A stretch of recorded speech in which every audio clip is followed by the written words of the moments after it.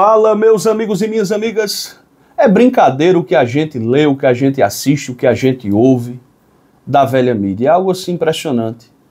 Que a gente lê também aqui na internet. Como esses bolsonaristas pensam que as autoridades brasileiras são burras, imbecis e pensam que nós brasileiros também somos imbecis. Você tá vendo esse cara aqui, ó? Vou mostrar a foto dele para você. Tá vendo esse cara aqui? Esse cara entregou um vídeo à Polícia Federal. Primeiro eu vou começar pelo nome dele. Ele é genro. Vou colocar meu óculos, porque não estou enxergando bem. Ele é genro do Roberto Mantovani Filho, acusado de dar um tapa no rosto do filho de Moraes. Ele é genro do camarada, o nome dele é Alex Zanata. Vocês acreditam, segundo a CBN, segundo a revista Fórum, que Alex Zanata entregou um vídeo à Polícia Federal, um vídeo de 10 segundos. De 10 segundos para tentar convencer as autoridades de que não houve agressão. A Polícia Federal viu o vídeo. Eu acho que os policiais começaram a rir. Só pode ter sido isso. Porque a CBN informa que procurou pessoas da PF e os policiais afirmam que o vídeo sofreu um recorte. Ou sofreu um recorte ou foi interrompido. O Zanata quer livrar a cara do sogro com um vídeo de 10 segundos.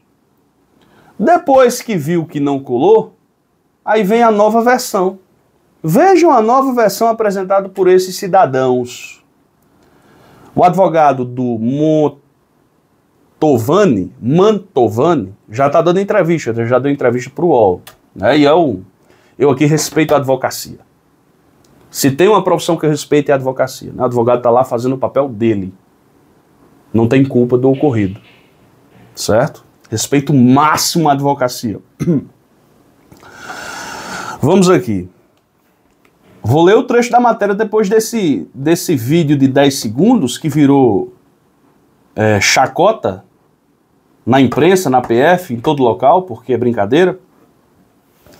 A revista Fórum diz: após dizer em depoimento à Polícia Federal que apenas afastou com um braço o advogado Alexandre Barce de Moraes, filho do ministro do Supremo, Roberto Mantovani mudou a narrativa na quinta-feira. Diante da chegada das imagens internas do aeroporto que comprovariam a agressão. Diante das informações de que houve agressão, Mantovani alega que não se lembra. Vejam só, tá com amnésia. Não se lembra se empurrou, se deu um tapa, ele não sabe o que fez, se afastou, o filho do ministro Moraes, ele não sabe. Esqueceu o que fez semana passada, antes de ontem? Quando foi isso? Vejam, eles entregam um vídeo de 10 segundos, não cola. Aí depois, as imagens internas do aeroporto chegam às autoridades. Essas imagens comprovariam a agressão, segundo matéria. Aí ele diz: Ah, rapaz, agora eu não estou lembrado, não. Eu não sei se eu dei um tapa nele, eu não sei se eu empurrei, eu não sei se eu afastei. Porra. Não brinca com a cara do povo brasileiro. Vocês não fizeram a M? Vocês não fizeram a atrocidade? Vocês não foram até a família do ministro para xingá-lo, segundo o que está sendo relatado? Assumam as consequências, rapaz. Ninguém de bom senso pode fazer o que vocês fizeram. Pode até fazer, mas tem que sofrer punição. Porque é crime o que vocês fizeram. Vamos aqui.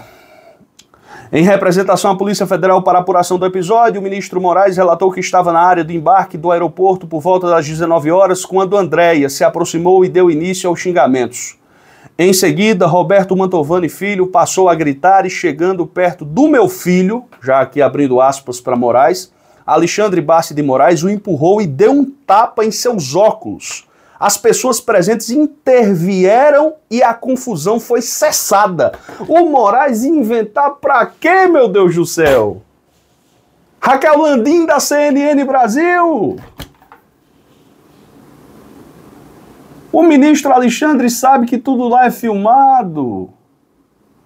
A narrativa vai até o momento em que as imagens forem divulgadas.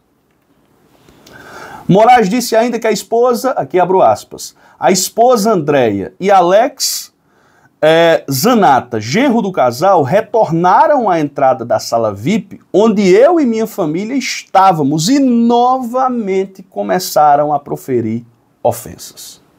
Polícia Federal fez uma busca, busca e apreensão né, dessas pessoas envolvidas. A, a CNN ficou, ixi Maria, para que essa operação? Aí o ministro Dino, na sua calma, né, na sua elegância, disse: porque nós estamos diante de, de um fato concreto. Nós temos que investigar. Eles estão com medo de quê?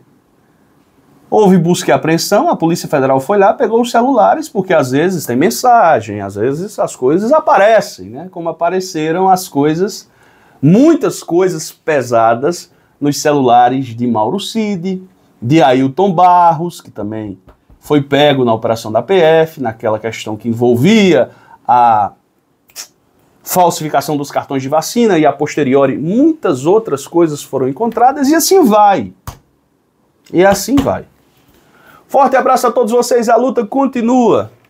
Os bolsomínios pensam que nós somos idiotas e nós ficamos o quê? Achando graça da cara deles. Até outra oportunidade.